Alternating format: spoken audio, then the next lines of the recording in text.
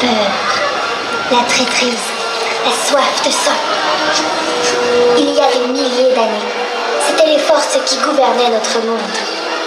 Un monde dans lequel les proies avaient peur des prédateurs et où les prédateurs avaient un désir incontrôlable et biologique de mutiler, de déchiqueter